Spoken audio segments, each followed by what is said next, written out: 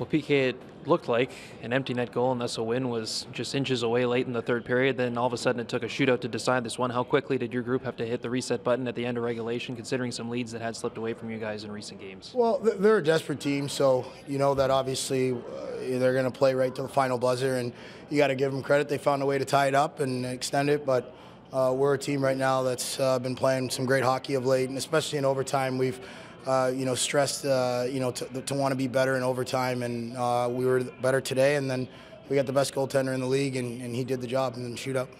Pick up an assist in the first period and you beat your former team for the first time. How will you remember this night? Oh, it's a great feeling, that's for sure. I mean, uh, definitely excited to get the two points. I mean, coming in here as a team, we just wanted to focus on it being another game. But uh, I know that definitely for me and Emmy, whenever you can have some success against your old team, it's a good feeling. But uh, for us, we'll take the two points and get ready for our father's trip.